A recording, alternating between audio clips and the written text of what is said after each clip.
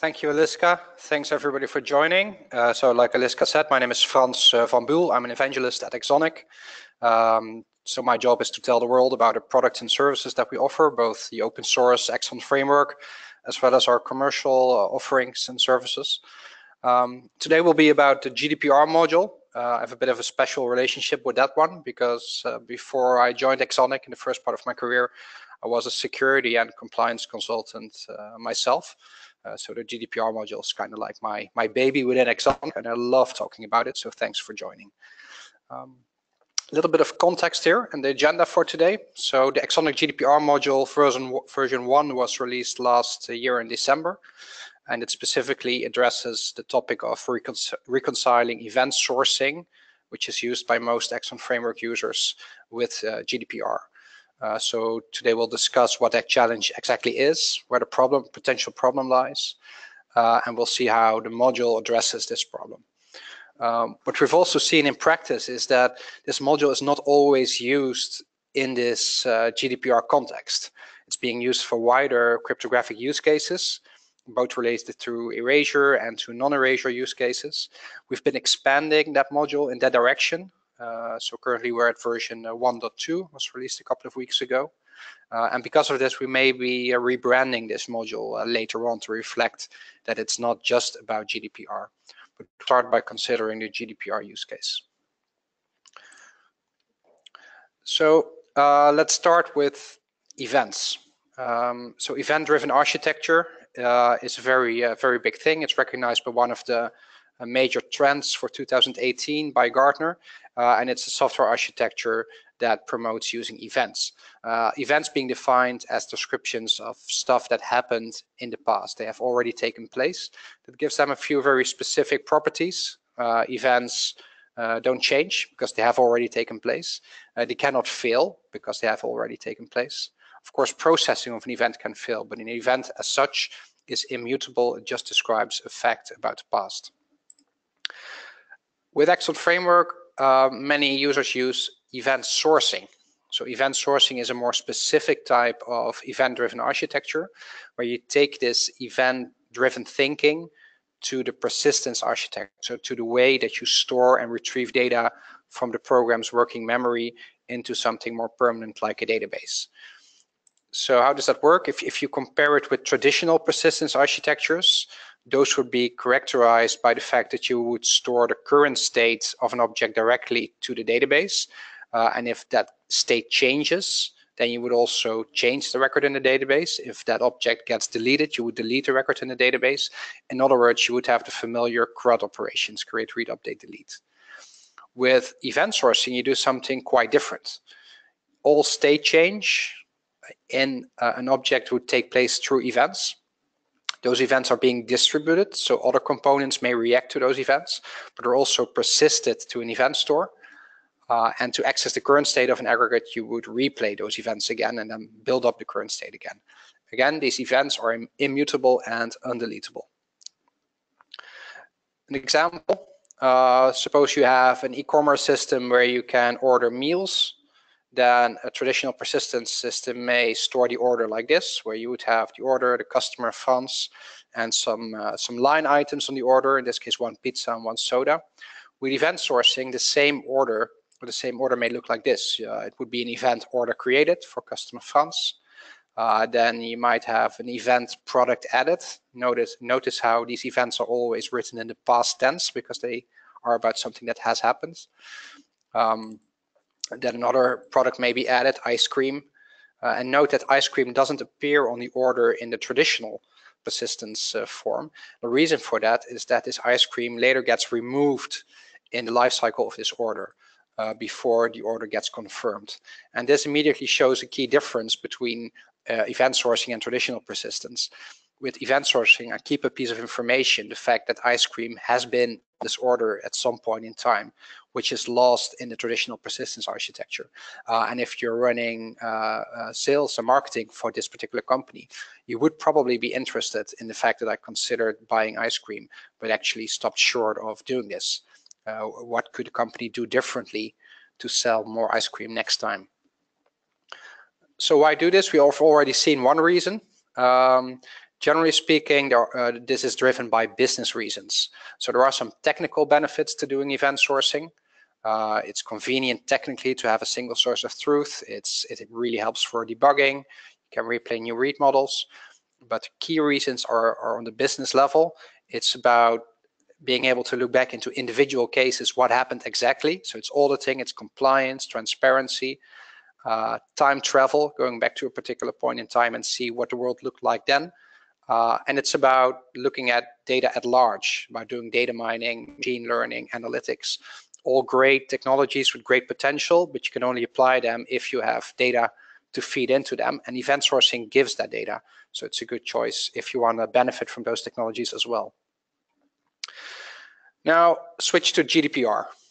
Um, GDPR is a very broad topic. There's many articles. For the purposes of the GDPR module and today's talks will mainly focus on one particular article, Article 17, which is the right to erasure, uh, also known as the right to be forgotten. And what it essentially says is that a data subject or a person about whom you would have stored personal data um, has the right to demand uh, that you erase the data that you have about him.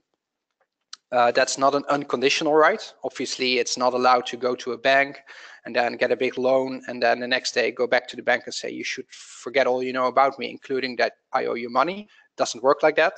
But um, unless any of those particular reasons applied why you shouldn't delete that data, you must comply with the demand of the data subject to erase the data. Um, now, if we compare uh, GDPR and event sourcing, contrast them. Um, generally speaking, uh, it's a really good match. Not so much because of Article 17, but there are many other parts of the GDPR that uh, call for transparency to be able to show exactly what you have done, which decisions you have made. Um, and event sourcing helps you do that because it keeps all that information about what happens in the past. So generally speaking, it's a very good match and event sourcing will actually help you be compliant with GDPR. Uh, however, uh, the Article 17 thing that we've just shown is a big challenge.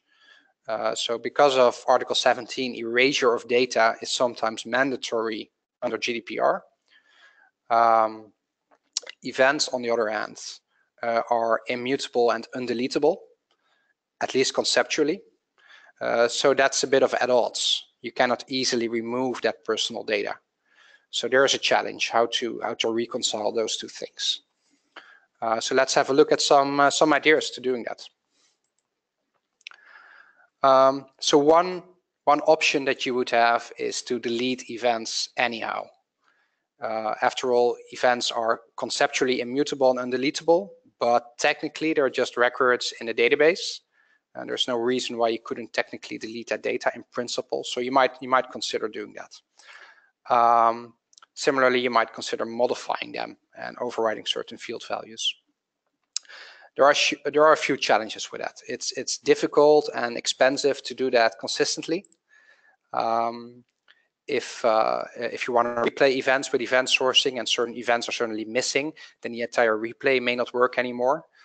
Um, if you need to override just certain field values in an event, it's hard to do because those field values are serialized into a database as, as JSON or XML or something else. You would have to uh, go over the database, uh, deserialize, make an update, serialize again.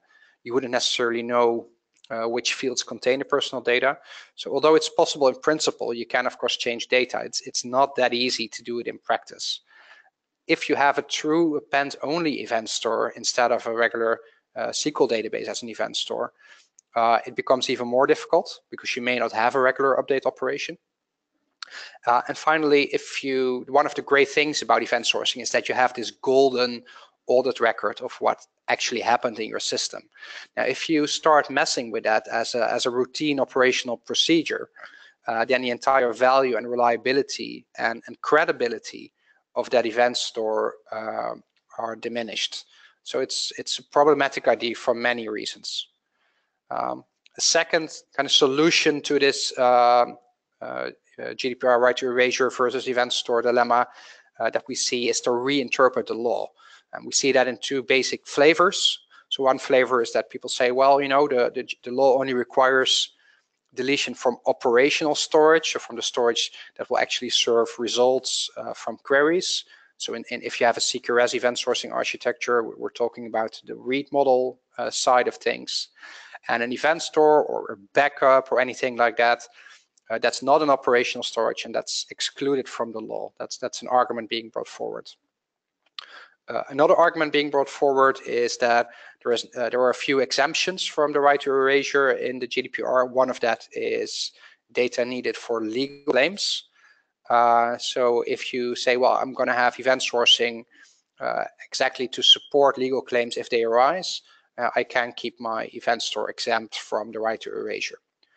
if you look at whether those ideas would be effective, uh, the basic answer is no.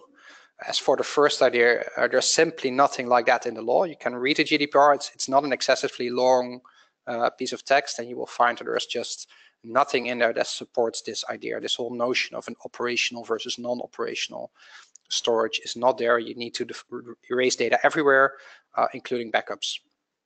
Um, as for the second thing, uh, no, again, doesn't work like that.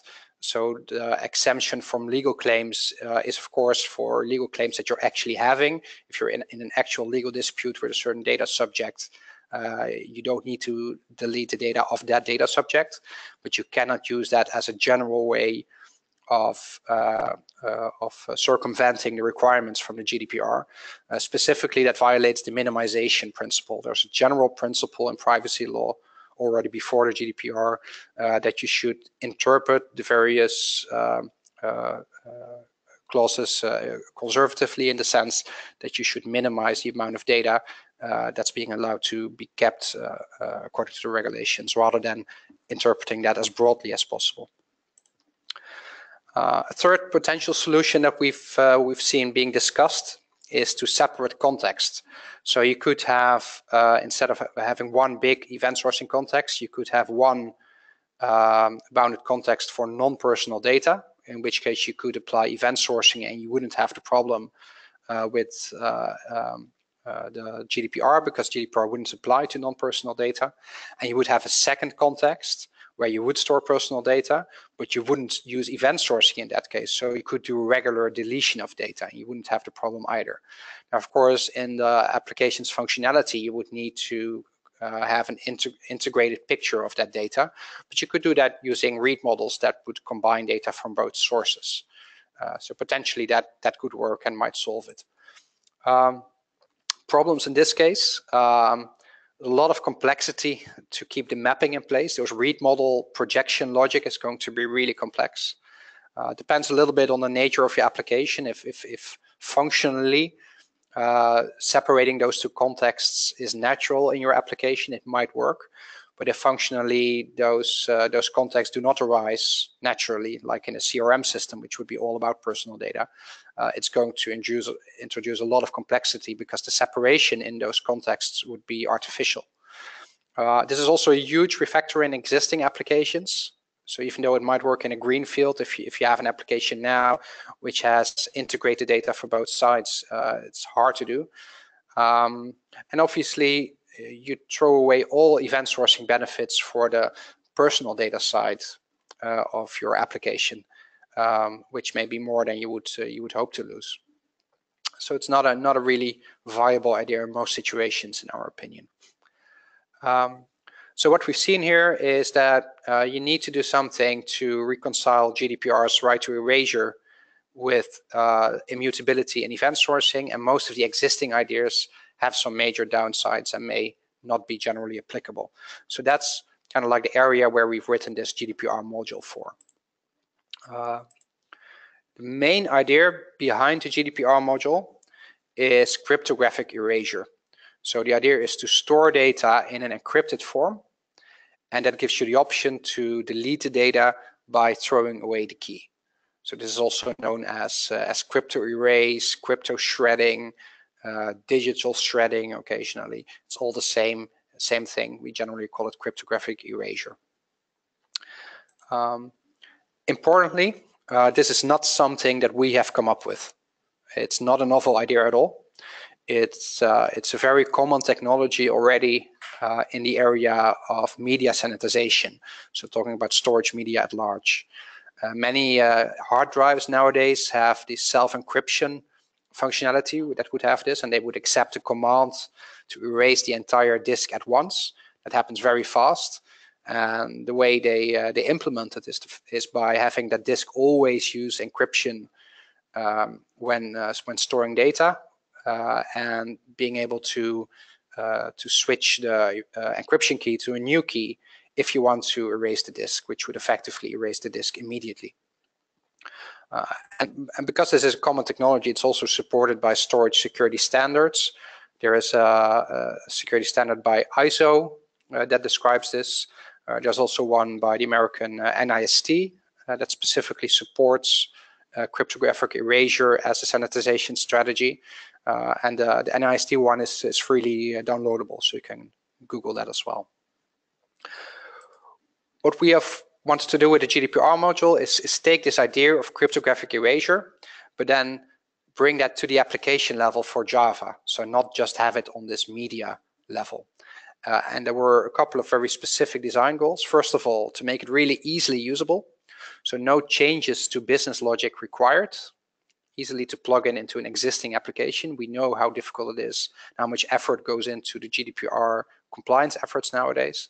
Of course, being the uh, company behind Axon Framework who wanted to integrate this uh, very well with Axon Framework.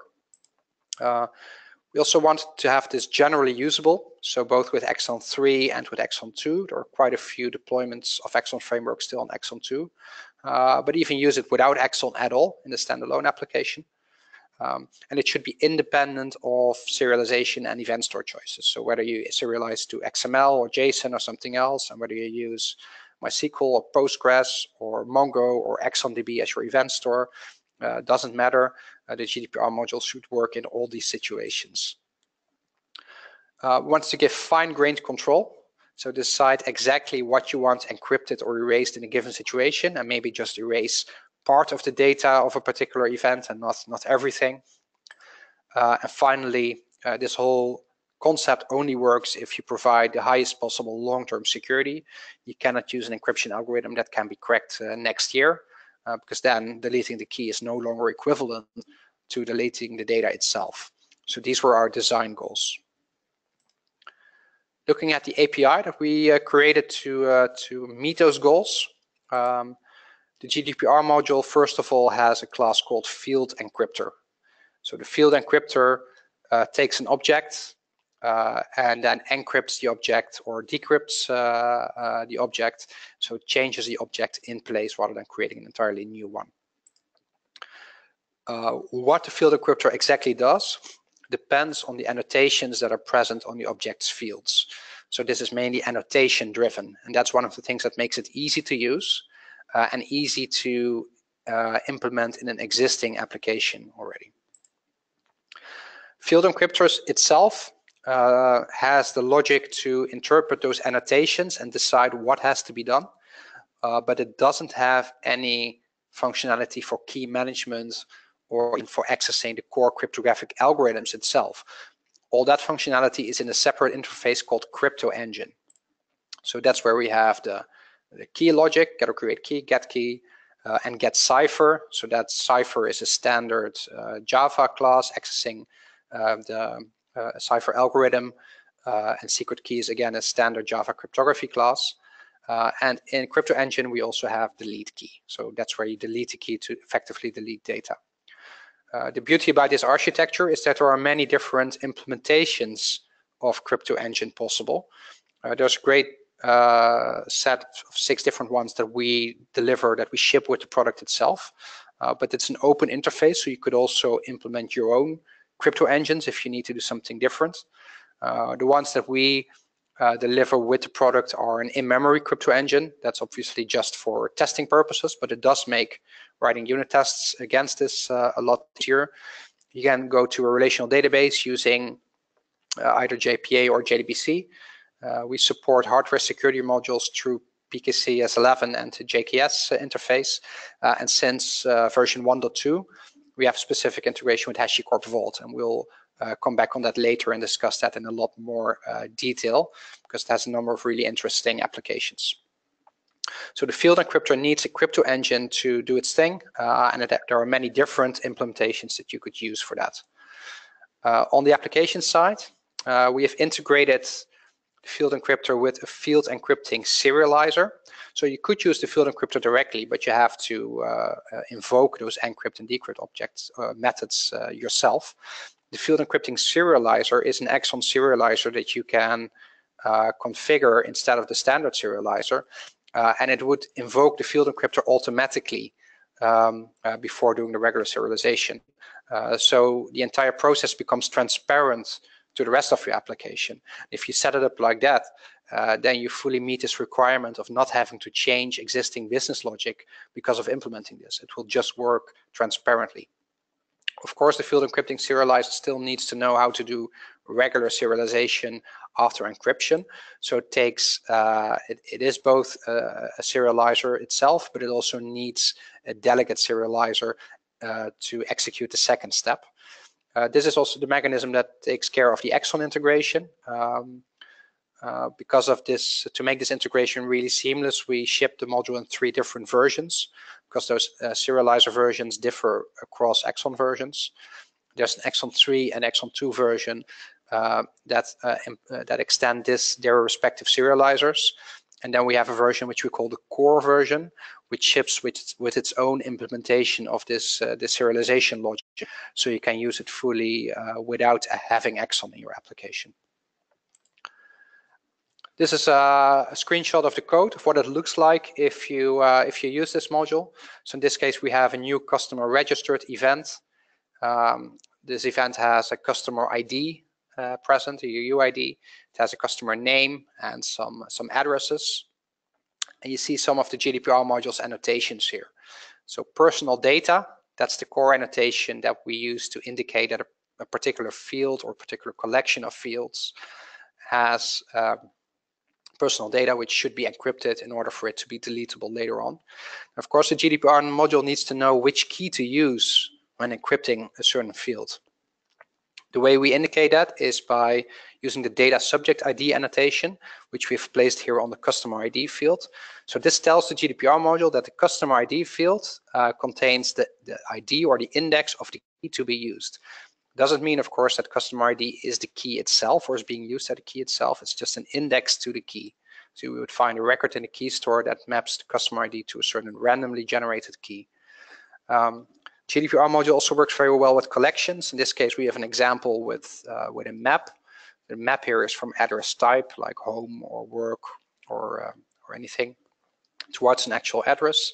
Uh, so address itself may contain personal data fields like street name or, or um, anything like that. Uh, so in this case, uh, by having the personal data annotation on this uh, collection, we tell the GDPR module to recurse into that map structure you know, specifically look at the value sides of the entries uh, and, uh, and consider those for encryption as well. So you can protect complex object graphs in addition to just single fields. Um, importantly, this is not just working with vanilla Java, because most of the Axon framework users that have many events in their architecture would use something to avoid the verbosity of, uh, of using plain Java for everything. Uh, it works well with Kotlin data classes, works perfectly well without any changes to, to project uh, Lombok annotated classes. Uh, and since version 1.1, uh, we've also made this compatible with Scala. So we have Scala specific versions of those annotations that start with lowercase letters, as is the Scala convention. Uh, it works with Scala case classes. Um, we support Scala collections, which do not derive from Java collections. So we had to uh, to implement that uh, separately, but all of that works now as well. So a few questions that we often get at this point, uh, and for that reason have already included here, including their answers, are, well, first of all, is this secure? Because today's encryption may be hacked in the future and when computers become faster, uh, etc. So how can we guarantee that this works? Uh, is this allowed under GDPR? Uh, how about key management? Are keys secure themselves? Should they be? Uh, and finally, is this open source? Well, the answer to the last question is no, but let's uh, let's take them all in some detail. So first of all, about long-term security, it's important to make a clear distinction between various cryptographic algorithms. They're not all the same. Generally, uh, the asymmetric algorithms, which use a public and a private key, tend to be quite sensitive towards evolution in computing power.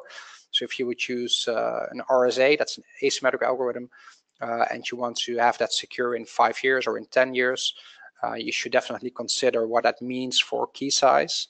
We, on the other hand, use a symmetric algorithm, more specifically AES, and it doesn't evolve in the same way. Uh, in AES, uh, uh, key length is not something that you can choose. There, is, there are three different key sizes that you can choose from, but it doesn't grow indefinitely, uh, as is in principle the case with the asymmetric algorithms. Um, and they are expected to be secure in the long term. The way that you would uh, uh, try to crack an AES key is, is by, by brute forcing it. It's the only method that we have right now. The best attack that is better than brute forcing, the biclique attack, um, is hardly effective. You would still end up with 254 of the bits of the the 256 that would be there if you would just do brute forcing. So effectively, you're still back to brute forcing. If you think about how large that key space is, uh, that's never going to work. You're never going to attack that with any amount of computing power in any amount of time. Um, we've also considered um, quantum attacks. Right now, quantum computers aren't really available yet, but they may be in 20 years or so. Um, what will happen if quantum computers uh, arrive is that the key size will effectively go in half uh, in terms of the in terms of security. Uh, for this reason, we recommend using it at a 256-bit key size. You can technically also do AES at 128 or 192 bits. If you take 128 bits, quantum computers arrive, you will effectively end up with 64 bits, which is uh, on the low side of being secure. Um, if we have 256 bits and you get quantum computing, you will still have 128 bits, and it's still totally impossible to hack that. So this is really very much long-term secure, and that's exactly the reason why this approach is also supported as a disk sanitization strategy in NIST and ISO standards. There is no way that you can break through this because of advances in computing power, even if you're talking about quantum computers. Uh, second question, is this allowed under GDPR? Some people uh, are afraid that you only can do real erasure or anything like that. Um, well, first of all, it's important to note that GDPR is explicitly technology neutral. That's in one of the recitals. Uh, and there is uh, there's a very good reason behind that. Uh, legal texts uh, tend to have tend to be rather long-lived. They don't have this fast pace rate of change that computing technology has. So you don't want to bind any kind of uh, legal text to uh, specific technological implementations. So the GDPR hasn't done that either. It doesn't anywhere define erasure.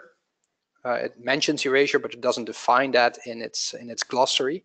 So this definitely gives room to some different uh, technical implementations of the functionality. Um, it's also important to note there is not no such thing as real erasure or anything like that. Any type of erasure that you would do on a computing system is ultimately some kind of procedure that you execute. Some being very strong. If you would physically destroy a disk that contains data and throw it away and shred it, probably the data is really, really gone. Uh, that's of course not what's being regularly done when deleting data according uh, to the right to erasure. What would happen most likely is that uh, a SQL delete statement would be executed on the database. Uh, such a statement doesn't delete any data from disk, it just marks the area as being available. So that's not an absolute erasure of that data anyhow. Uh, what we believe is that any kind of uh, erasure technology that you're using or erasure procedure that you're using to implement Article 17 uh, should be evaluated against strengths of procedures that are already regularly accepted. Uh, and cryptographic erasure, given what we've seen uh, on the nature of, on the on the strength of this encryption by itself, uh, is in fact stronger uh, than what's regularly being done to implement erasure with a SQL delete. So there's absolutely no reason to ban this under GDPR. We have had some discussions about this with our customers and their their auditors. And generally, once we explain this point, it's it's totally accepted by GDP auditors as well. Um, third question, so are keys uh, secured?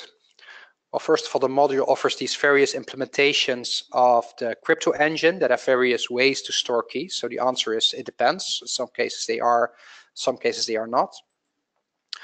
Generally speaking, from a risk analysis point of view, as long as we're talking about this crypto erasure use case, keys do not need protection beyond the baseline protection you apply to all data. So we're not saying that keys don't need protection, they do, just like all your data needs protection. Uh, and in other use cases and more confidentiality oriented use cases of the module, it may make sense to uh, to really uh, add an additional layer of protection to keys. But in the specific crypto erasure use case, you don't really need to do that. And to explain why, let's uh, let's look at the situations without and with crypto erasure. So without crypto erasure, you would have some clear text event data record. Uh, and with crypto erasure, you would change that. You would have two separate things. You would have the encrypted record, and separate from that, you would have a key, which may be stored in the same database or in a different database. But that's what you would have. If you would look at this from an attacker perspective or from a risk perspective, so what could happen that would threat uh, the confidentiality of this data? Uh, in the left-hand side, without crypto erasure, if uh, somehow this clear text data record uh, is compromised or an attacker obtains a copy of that uh, data prior to the deletion, um, then you have a breach. So then you have uh, the confidentiality and the erasure is no longer warranted. With crypto erasure, uh, if this piece of data, if the encrypted data record in combination with the key gets compromised, then exactly the same thing is the case. So what you would see from this is that the, the, the level of protection that you would need for the key and for the data record are exactly the same. They, they behave exactly the same in terms of things that can go wrong to breach the confidentiality. You might even argue that if you store the encrypted event data records uh, and the key separately, so the the uh, uh, event data in a separate event store and a key in a key database, that inherently gives a higher level of security because you would need to have access to both as an attacker uh, before being able to access any data. Um, so with crypto erasure, you wouldn't really need to have an additional layer of protection on the keys. Uh, having said that, there are other use cases of the GDPR module where you would use it for more general protection of confidentiality. That's a very different case. Then you would want to have an additional level of security and you don't get an additional level of security to your uh, data stored in the database if you would encrypt it with keys being stored in the same database, because then the risk profile stays the same. And, and your goal would be in this scenario to uh, get a higher level of security. So then you need to protect the keys. GDPR module offers two options for that. So one option has been around since version 1.0, and that's using a hardware security module through the PKCS 11 standard. That's extremely secure because the keys never leave that hardware security module. They will do all the encryption inside the module, so you cannot steal the keys. Uh, the downside of it is that these are expensive and not very scalable in terms of numbers of keys. Thousands of keys is already much, but maybe possible ten thousands or hundred thousands of keys definitely isn't going to work. And that's that's the kind of number that may be very uh, very realistic if you're using this in a crypto erasure scenario or if you want to do encryption per person. Since 1.2, we have a new solution for that. That's the integration with HashiCorp Vault. So that's a very new thing in the module. We want to talk that talk about that in a bit more detail. Uh, so Vault is a product by HashiCorp and it's uh, advertised as a tool for managing secrets. Uh, it's a server, uh, which you can of course deploy as a cluster. From the perspective of a client system, there are two main things it implements. So uh, it of course needs to authenticate the client, can use tokens or LDAP or AWS. Uh, there are like 20 different things it, it supports. But after authentication, it starts really delivering the service for the client. Uh, and that's called a secrets engine. So the most basic secret engine that it has is key value storage just does uh, just a way of storing secrets under amount of under a certain key. Uh, and then there are many more advanced secret engines that would allow a client to transparently log into a certain database system, to cloud services, to many other things. Um, so this is what it offers to clients. Um, uh, on the back end, if you look at how it implements that, it doesn't do so much itself. It delegates storage of keys to some backend system Consul would be uh, kind of like the native option because that's also a product by HashiCorp, so it could store all the secrets in Consul. But equivalently, you can use a relational database or Cassandra or S3, or again, there are more than 20 different options. Uh, and importantly, it's it protects those secrets, so it doesn't store those uh, those secret values uh, in clear text in the storage technology that you're using, but it seals those values, so it encrypts them. And there are many options that it supports there. Again, uh, uh out of the box in the in the default uh, free version of Vault, it uses the Shamir secret sharing algorithm, so it makes sure that if you get access to one piece of the data on, on one instance of your backend uh, servers, that's not enough yet to decrypt it. You would need to have multiple uh, secrets that you enter into Vault to uh, to get access. But you can also use a hardware security module uh, to uh, to protect the secrets, or you can use a key management uh, server from one of the major cloud vendors. So many options there. Interesting thing is that the if you combine a, a scalable storage technology like Consul or a relational database with the sealing technology, you get uh, the high security that you would otherwise get from a hardware security module. It's not as secure, but it's still much more secure than storing keys in clear text. Uh, but you wouldn't sacrifice so much of the scalability. Uh, you would still be as scalable as your backend storage system, which uh, uh, uh which is definitely capable of storing millions of keys. Um, looking at the left-hand side, if you look at all the things that Vault has to offer, um, there are many potential ways in which we could exploit this in the GDPR module. So we needed to think about which would be the best way of doing it. Uh, things that we consider there, uh, we could use Vault for all cryptographic operations. It has this transit secret engine that would not just store keys, but also do the actual encryption, very much in the same way that a hardware security module would, would uh, do that for you. Um, we could use Vault for all the GDPR module uh, key storage. Um, so we would use the key value secret engine, but still do the actual encryption algorithms inside the GDPR module rather than in Vault. Uh, and we could use Vault in a much more lightweight way. So we could do a, a thing with master keys and uh, data keys and, and making uh, the GDPR module responsible for the individual keys while encrypting them with a master key in Vault. Um, the first thing is actually infeasible uh, for two reasons. It's not really uh, fast enough, uh, and the choice of cryptographic algorithms is a little bit too limited to, to make this work with the GDPR module. Uh, the third thing would be very easy to do, but provide very limited benefits of the Vault, uh, Vault features. So we've done the, the, middle thing. We're using the key value secret storage, um, having all the GDPR keys protected as values, as secret values in Vault, but the encryption logic itself is being handled in the GDPR module.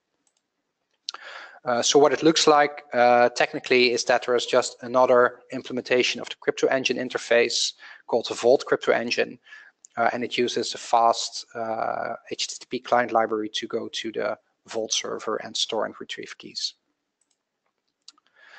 So the last of the four questions, is the GDPR module open source? Um, it's not. So it's a commercial closed source uh, offering. And of course, we have a, a, flexible pricing scheme that will work in many different scenarios.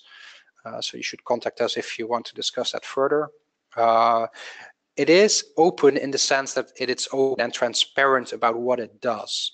Uh, so there's an extensive manual. It fully describes the cryptographic scheme uh, that's implemented in the module. So you can share that with your security auditors, for instance, if they have any questions about what's going on. Also, the scheme is not patented, so you could implement that yourself or have others implement that or implement it in a different language. Uh, we feel that this is very import important to be open about this, uh, both because you will need to be able to demonstrate your compliance with the law uh, to auditors, and you cannot do that if uh, the GDPR module would, would, do something which is uh, intransparent, uh, and we don't want vendor lock-in. So it's possible that you uh, you should remain the owner of your own data at all times, rather than being locked into the GDPR module. Uh, just as an extract of that, to show you what it looks like, this is just one picture of the manual, which is very extensive. This is part of the algorithm being executed when transforming a clear text byte array uh, to an encrypted byte array by the GDPR module. Um, what happens is that we create uh, uh, a random initialization vector uh, that's necessary to prevent certain uh, semantic security attacks. Um, then we do AES, uh, the core encryption algorithm, using it in Cypher blockchaining mode with PKCS 5 padding that leads to an encrypted byte array. Um, we create a digest and an encryption di encrypted digest of that same uh, data. Uh, that helps us to differentiate between uh, encrypted data and non-encrypted data when we decrypt and also to differentiate between encrypted data that's encrypted with the expected key versus encrypted data that's encrypted with a, a different key. Uh, and then uh, as, a, as a final component of what we store, and that's, that's optional, is to store a partial value of the clear text uh, version. Uh, that's being used, for instance, if you if you would store uh, a date of birth of a person, uh, and you want to be able to delete the month and the day, while still keeping the year, because the year by itself is so coarse-grained that it doesn't qualify as personal data in most situations. You might want to keep that for all kinds of analytics later on, even if you erase the personal data by itself. So this feature, this replacement value provider and partial value for storage would allow you to store that year in clear text form in the encrypted uh, data. Uh, all of the parts that we have obtained in this way would be uh, uh stored in a single structure called encrypted field data, which we would then encode using Google's uh, protobuf uh, system into binary data. and that would be uh, replacing the clear text data in your field. Again, this is very uh, described in a lot of detail in the, in the manual. Um, so where does this module fit uh, in an overall strategy? Uh, it's part of a strategy to deal with mandatory erasure, which may be driven by GDPR, but may also be driven by other legal requirements. Um, it doesn't fit that, doesn't solve that problem altogether. Um, typically, it fits into a, into a flow that we see in the in the diagram. So if you get this request for deletion and, and you and you actually need to execute it, you will always need to validate that first, of course. Uh, uh, many different things need to happen. You need to delete the data from the event store. That's the part that's normally hard to do and, and where the AxonIQ GDPR module offers a solution for uh, cryptographic erasure. You would also need to delete from read models if you're using full CQRS um, which you could do in theory with the GDPR module as well, but there's no reason why you should. It's easy to do that with regular delete operations. Uh, and then a number of other more administrative processes need to take place as well. You need to inform third parties. That's that's actually mandated by GDPR. And you need to inform the data subject as well uh, that you acknowledge that you have received this request and that you have executed it. Um, so it's part of this overall flow of things. Uh, the GDPR module also fits in cases where you want to do field level encryption in Java uh, to protect the confidentiality of the data regardless of any uh, erasure use case. And that's actually a use case where you would typically use something like HashiCorp uh, Vault to make sure that your keys are definitely secure. Uh, so finally, we'll be taking some questions now. Um, you can also contact me personally uh, after the webinar using my email address or Twitter handle, or phone number. Uh, and we have a number of upcoming events as well that we wanted to point you to. Thanks for listening so far.